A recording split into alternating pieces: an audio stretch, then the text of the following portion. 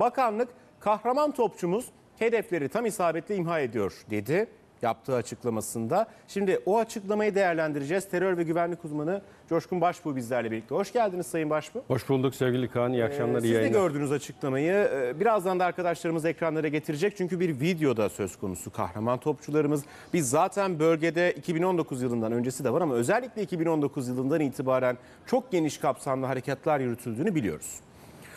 Ama alışık olmadığımız nokta bu şekilde paylaşımın yapılması. Normalde bu şekilde e, olmuyordu genelde. E, nasıl değerlendirirsiniz? Şimdi e, işler dediğin gibi... evet geldi Ha, bu arada. geldi. Özür dilerim. Sözünüzü kestim. Estağfurullah. Ben bu paylaşımdan bahsediyorum. Kilit kapanıyor. Kahraman topçumuz hedefleri tam isabetle imha ediyor. Lokasyon yani yer bilgisi İran kuzeyi Sayın Başbuğ ve bir görüntü. Evet. Hatta sesi varsa görüntüyü bir dinleyebilir miyiz? Sonrasını istiyorum.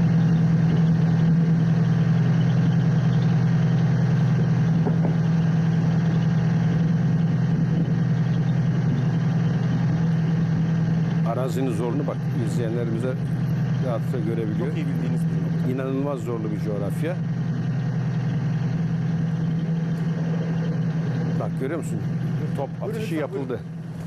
Bak şuradan çıkardın siyah Şöyle geçelim hatta buradan değerlendirelim. dumanlı bulut. İşte gelecek birazdan.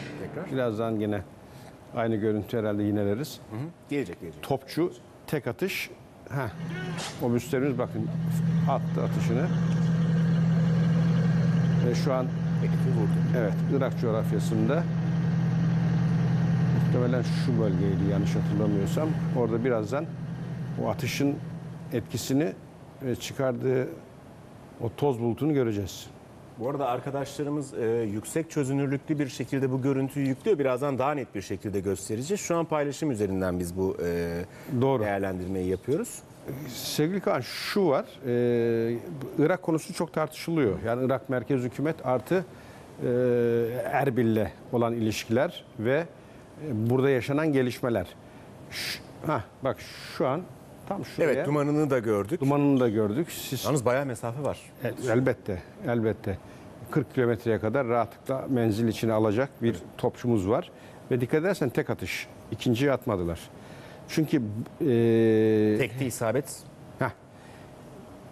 Yani bugüne kadar yaptığımız bütün operasyonlarda, bütün harekatlarda sevgili Kaan, e, hani sıfır zayiat, en ufak terörle iltisaklı olan hiç yere zarar vermeden, hiçbir sivilin burnu kanamadan ve doğrudan terör hedefli, terör iltisaklı yerlere harekat ve operasyonlar izledik.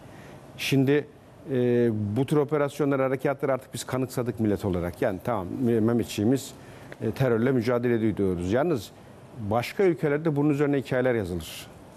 Böylesi zorlu coğrafyada bir başka ülkede böyle sıfır hata operasyon harekatlar öyle her baba yiğidin harcı değil. Normalde biz bu görüntüleri Milli Savunma Bakanlığı'nın yaptığı paylaşımda farklı olan bir diğer noktaysa e, daha doğrusu nispeten alışık olmadığımız diyelim bir diğer noktaysa e, görüntüyü tam olarak ekranlara getirdiler arkadaşlarımız bu arada. E, SİHA'larla, SİHA jetleriyle görürdük. Fakat şu an topçularımız Evet. yani demek ki hakimiyet bölgede sağlan ya zaten belirli ölçülerde sağlandı ama çok ciddi ölçüde hakimiyetle sağlandığı mesajı. Sevgili Kaan zaten kilit tamamlanıyor. Ben kastı o Milli Savunma Bakanlığımızın. Niye? Çünkü biz bu coğrafyada e, yerine göre topçuluğumuzla, yerine göre hava kuvvetlerimizle, yerine göre özel kuvvetlerimizle e, birbiriyle bağlantılı ve birbirleri ardına harekat Bakın operasyonlar anına ilişkin tam o görüntü Ha, şurası bak. ne kadar net yansıyor? Bak şurası tam e, Atış büyütülmüş halde verdikleri. Evet atış şu an gerçekleşti. Birazdan işte atışın isabet sağladığı alan görülecek. Orada da o topçunun e, atışından mütevellit çıkan toz bulutunu göreceğiz. Ve muhtemelen orada yani bir mağara, bir sığınak. Terör önceden-. Heh, te- bir görüntü alınmıştır. Muhtemelen o görüntü üzerine bir harekat operasyon gerçekleşmiştir. Ben mesela e, Irak sınırındaki o birliklerimize gittim. Ee, izleyenler tabii görmediği için belki canlandıramaz. Sizin rejideki o birden fazla ekranın olduğu e, bir masayı sınıra götürün.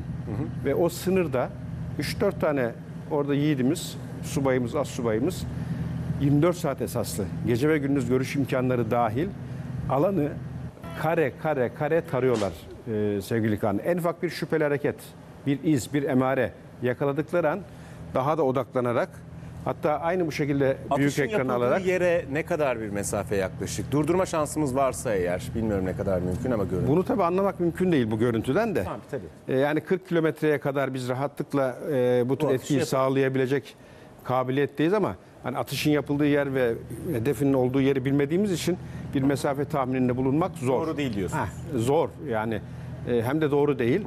E, burada şimdi e, hani az önce bah- tasvir ettiğim olay. Mesela burayı dilim dilim dilim o sınır birliklerimiz, huduttaki gözlerimiz seyrediyor. Gece ve gündüz. Ve burada en ufak bir hareket, bir emare, bir istihbari bilgi aldığı an büyük ekranda o alanı takip ediyorlar. Benim bilfiil şahit olduğum iki tane teröristin aynı bu şekilde dağlık bölgeden yavaş yavaş gitti ve kimsenin görmediğini zannettiği bir ortamda hava kuvvetlerimizin bir operasyonuyla ikisi de etkisiz hale getirildi ve bu bahsetmiş olduğum yol ve yöntem kullanılarak. Dolayısıyla burada yani Milli Savunma Bakanlığımızın paylaştığı bu görüntüyü e, ve mütakip görüntüleri evvel paylaştıklarını şöyle bir harmanladığında şunu rahatlıkla görebiliyorsun. Yerine göre topçu, yerine göre SİHA ifade ettiğin gibi, yerine göre hava kuvvetleri, yerine göre e, özel kuvvet, özel birliklerimizin harekat ve operasyon gerçekleştirdiği bir dizi mücadele Ama olduğunu yine de burada topçularımızın bulunabiliyor olması Tabii ki. Çok büyük bir önem değil mi? Elbette biz zaten hani o sınır güvenliği sadece hep Suriye üzerinden okuduk. Aynı tedbirler Irak sınırına da alınıyor. Orada da çok ciddi tedbirlerimiz var. Topçularımız dediğin gibi bak görüyor musun? Burada evet. Bak etrafı e, güvenlik duvarıyla oluşturulmuş mevzisindeki bir topçumuzun ona verilen göreve istinaden yapmış olduğu atış. Eğer Türkiye e, gerekli ölçülerde, büyük ölçüde bölgede hakimiyeti sağlamamış olsaydı bu topçu burada bulunabilir miydi? Eskiden buralar yol geçen anıydı sevgili Kaan. Yani gece kimsenin çıkamadığı, gece kimsenin yol alamadığı ve adeta örgütün FETÖ'nün de işbirliğiyle yol geçen anına çevirdiği coğrafyalardı bu coğrafyalar. Düşünebiliyor musun? E, 15 Temmuz yaklaşıyor, haftası geliyor. Tabii. Anacağız, konuşacağız. 15 Temmuz'da bu bahsetmiş olduğumuz yerlerde FETÖ'den olan bizim asker ya da subay asubay zannettiğimiz teröristler karşıdaki teröristleri el ele vererek burayı eleye çevirdiler. Yol geçen anına döndü o dönemde. Ve birçok e, yurt içinde terör eylemiyle karşılaştık. İşte bu bahsetmiş olduğum işbirliğinden dolayı. Şimdi Allah'a şükür var mı bunlar? Yok. Her yer güvenli mi? Güvenli. Peki. Sınırlarda bu tedbirlerin hepsi an kare kare alınıyor mu? Alınıyor. Bu görüntü üzerinde dinleyeceğim, dinleyeceğim. Bırakacağım size sözü. Ee, sadece diğer haritaya da geçmemiz lazım da son kez bir e, sesli olarak dinleyelim sonra haritaya geçelim. Bak. Atış emri verildi ve topçumuz atışını gerçekleştirdi. Birazdan bahsetmiş olduğumuz yani hedef nere verildiyse işte herhalde şuraydı yanlış hatırlamıyorsam. Oradaki Şu bölgeler. evet. Birazdan o toz bulutunu göreceğiz. Şimdi oraya doğru hareket söz konusu ama tekrar diyorum mesafe fazlasıyla uzun. Evet. Öyle bunlar e, yani bakmayın böyle birbirine yakın durduğuna ciddi Görüntü bir bu arada yavaşlatıldı biraz. Heh, bak gördün mü? Şurada isabet sağladılar. Şimdi bunlar e, Anlatırken haritaya da geçelim. saha istihbaratıyla elde edebilirsiniz bu bilgiyi. Görüntü istihbaratı da olabilir. E, bir şekilde e, orada şüphe ettiğiniz bir e, hareket ve bir e, kalkışma da olabilir. Ama neticede anında burada vermiş olduğunuz reaksiyon işte görüldüğü gibi muhtemelen dediğim gibi ya sığınak ya da barınaktır veya hareket halindeki bir terör unsuru bir grubudur. Bunun ne olduğunu zaten mütakip açıklamada biz göreceğiz, Peki, öğreneceğiz. görüntülerin adresi İran kuzeyiydi. Yani bu noktaya gelme şansınız varsa şu Tabii İran kuzeyden kastı işte haftanın Sinat'tan başlayıp Kandil'e kadar uzanan coğrafya. Ve bu Bunlar- noktada nereye kadar gelindi o zaman? Şimdi zaten bu bahsettiğimiz yerlerde Gara e, hariç Şöyle geçin daha rahat. Gara'da da hani çok e, geniş çaplı bir kontrol ve operasyonun e, yürüdüğünü de bilelim. Hani kilit tamamlanıyordan zaten kastımız bu. Şimdi bizim bu sınır bölgesindeki e, neredeyse erişmediğimiz, ulaşmadığımız yer kalmadı. Burada güvenlik altına almadığımız alan da yok. Ama tabii bu terörle mücadele bu bölgede bittiği anlamına gelmez. Şimdi yeni süreçte biz neye hedefledik? Ön- Öncelikle Bağdat, ardından Erbil işin içinde olsun ve birlikte üçlü bir e, yapılanmayla, çalışmayla inşallah bu coğrafyayı bu yazın sonunda kar gibi tertemiz hale getirelim. Hedef bu. Şimdi son zamanlarda dikkat edersen e, hep merak edilen şu. Irak'ta harekat olacaktı ne oldu? Ve geçtiğimiz günlerde Sayın Güler'in ifadesi önemli bir ifadeydi bana göre. Biz zaten oradayız dedi. Yani harekat devam ediyor. Burada Suriye benzeri bir harekatı beklemek Yaşar, Güler, Yaşar Güler'in e, açıklaması. Evet, Milli Savunma Bakanımızın Yaşar Güler'in açıklamasıydı bu. Ee, burada şöyle bir beklentiye girmek yanlış olur. Yani Suriye benzeri oradaki Zeytin Dalı, Fırat Kalkanı harekatlarda olduğu gibi tankıyla, topuyla bu bölgeye e, yapılacak bir harekat yani Suriye'de olduğu gibi beklenmesi bana göre yanlış olur. Ama Neden? Biz zaten oradayız. Değiller mi Ha? Sayın Başbuğ? de, Coğrafi ha. olarak da İnanılmaz fark. İşte az önce gördük görüntüleri. Yani Suriye düzova oranın yanında. nispeten tabii. Ha, e, oranın yanında e, şey Irak coğrafyası dünyanın en zorlu coğrafyası. Dolayısıyla buradaki o harekat hiç köpürtülmeden, öyle dallandırılmadan bana göre o üçlü kombinasyonla yürüyor. Bu istihbarat anlamında bir paylaşım olur, ortak harekat olur, ortak e, bir takım e, manevra operasyonlar gerçekleşir. Belki e, hani bizim emir komutamızda Erbil'de operasyon gerçekleşiyordur. Bunları şu an e, bence doğru olan yapılıyor. Kamuoyuyla çok bilgisi paylaşılmıyor ancak Ama merak uyandırıcı bir paylaşım da yapıldı. heh, e, mesela şimdi aslında o merakı giderecek bir e, e, ipucunu şuradan bulabilirsin. Eskiden burada mesela 2-3 çapulcunun etkisiz hale getirildiği operasyonlar görürdük. Şimdi son dönemlerde her gün haber sunuyorsun. Belki sana da rast gelmiştir. İşte İran kuzeyinde operasyon 14 terörist ölü. Tabii tabii. 30 ölü, 25 ölü. Bak Sayılarda dikkat et. ciddi ölçüde artış var. Heh, artış var. İşte ben hani o merakla beklenen hale getirilen terörist merakla beklenen harekat ve operasyonlar başladı mı sorusuna bir cevap olarak onu adres verebilirim. Çünkü burada zaten o işbirliğinin başladığını rahat görüyorsun. Hatta Irak Merkez Hükümeti'nin sınırda aldığı ve almaya çalıştığı güvenlik tedbirlerini de bu kapsamda değerlendirmeli. Dolayısıyla burada paylaşılan görüntü artı paylaşılan haberler bölgeyle ilgili şunu net gösteriyor.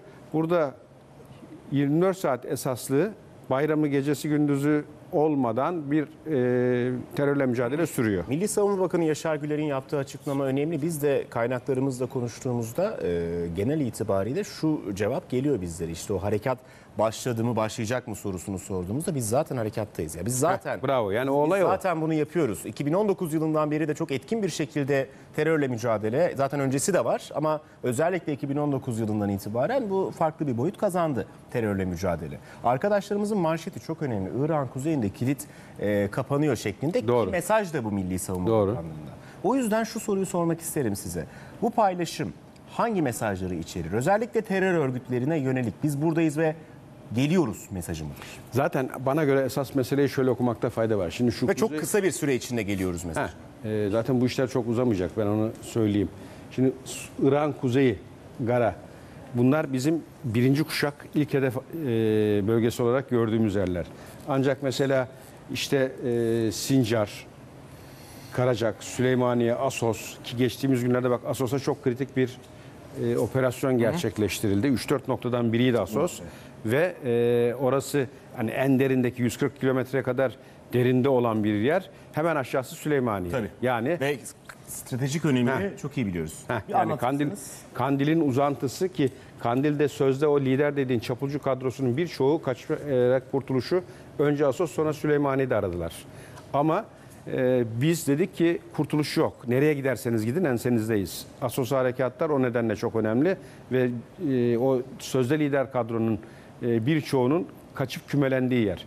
Oradan da kaçan kendini Süleymaniye'de sivillerin arasına karıştırarak Taliban'ın de gölgelemesiyle bu işten kurtaracağını zannediyor. Ama e, mesela oralarda da gene yürüyen kritik harekatlar var. Ama bunun da ötesinde bizim ilk etap birinci hedef kilidin kapandı dediğimiz bölge veya kapanmak üzere olduğu dediğimiz bölge kuzeyimiz. Detaylı konuşalım.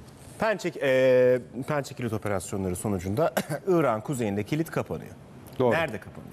İşte hemen bahsettiğim coğrafya yani Sinat'tan başlayıp Kandil'e kadar uzanan Gara'nın da içinde olduğu coğrafya. Şu sarı nokta aslında o zaman Evet o izleyenlerimiz ekrandan net bir şekilde seçebiliyorlar çünkü. Daha sarı renk. rahat görüyorlar. Daha açık sarı olan yer ve Gara e, bizim öncelikli yerimiz. Zaten burada çok ciddi bir yapılanmamız var. Ama dediğin gibi bütün her şey bitti. Buralar artık ülke içinde olduğu gibi güven altında, kontrol altında demek için erken. Tabii. Ama e, çok da ciddi bir mesafe kat edildi. Şimdi özellikle üçlü işbirliği yani Erbil'in, Bağdat'ın içinde olduğu dönem e, bu bölgeye çok büyük fayda getirir. Hatta zaman zaman şöyle biz bilgiler de alıyoruz sahadan. Özellikle Erbil merkezli bazı e, hareketlenmiş askeri kuvvetler muhtemelen Türkiye ile ortak operasyon ve harekatta verilen görevleri icra etmek üzere bölgede hareket halindeler diye zaman zaman duyuyoruz. Peki. Ha, bu şunu gösteriyor. Bu bölgede işbirliği başladı. Zaten eğer kuzeyi güven altına alır, kilidi kapatırsan aşağıdaki yerler zaten e, bahsetmiş olduğum iki yer yani iki bölge e, unsur Erbil ve Bağdat'la birlikte çok daha rahat çözülecek noktaya gelir. Son olarak bir soru soracağım sizlere. İki farklı gelişmeyi bölgede e, gerçekleşen gelişmeyi hatırlatarak onlarla ilgili değerlendirmenizi de isteyeceğim. Bir, şimdi Milli Savunma Bakanlığı tarafından bu açıklama yapıldı. İran kuzeyinde kilit kapanıyor şeklinde. Buradan aldığımız mesajlar, bu açıklamadan aldığımız mesajlar zaten bir noktada var. Fakat komşu İran, yani şu noktaya komşu İran. Orada Mesut Pezeşkiyan'ın yeni bir cumhurbaşkanı seçilmesi, o cumhurbaşkanının da Mesut Pezeşkiyan yani bir Türk olması. Birinci gelişme. İkinci gelişme ise Suriye'de Esad'la Cumhurbaşkanı Erdoğan'ın olası bir görüşmesi. Bu da ikinci gelişme, ikinci sıcak gelişme. Bu iki, e, şimdi zaten Pezeşkiyan Cumhurbaşkanı oldu e, İran'da. Fakat e, Esad'la, Beşar Esad'la Cumhurbaşkanı Erdoğan da bir görüşme gerçekleşir, gerçekleştirirse bu kapsamda Milli Savunma Bakanlığı da artık o yavaş yavaş o kilidin de kapandığını söylüyor. Terörle mücadele daha da etkin bir şekilde, daha da hızlı bir şekilde çözüme kavuşur. İnanılmaz Kaan, inanılmaz. Ama mesela gelişmelere bakarak bir yorum getir dersen bana, Bu son sorumdu bu arada. e, Suriye'ye pozitifim, İran'a nötrüm. Neden? Çünkü İran, evet Pezeşkiyan bir Türk, e, reformist olarak adlandırılıyor. Ancak bana göre İran'la bir bahar havası için erken. Çünkü İran'daki mevcut yapı e, Pezeşkiyan'ı her ne kadar iktidarı verse de iki numaralı isim haline getirse de o yapının dışında bir münferit değerlendirme, bir hareket ben e, İran gibi kapalı bir rejimin içinde çok zor olduğu kanaatindeyim. Yani inşallah e, İran sürece olumlu katkı sağlar. İnşallah bizim o istediğimiz noktaya gelir. Çünkü bak hemen şurada vaktin varsa Kandil'in ar- arka tarafı Asos eleğe dönmüş durumda. Çünkü İran tutmuyor burayı. Ve kaçan solu İran'da alıyor. İran bunu bildiği halde önlemini almıyor. Peki. Şimdi Pezeşkiyan'la bu denklem değişir mi bekleyip göreceğiz. Ama Suriye konusunda dediğin doğru. Irak ve Suriye'nin eş zamanlı işlediği ve birbiriyle yarıştığı bir süreç bizi bekliyor diye düşünürüm.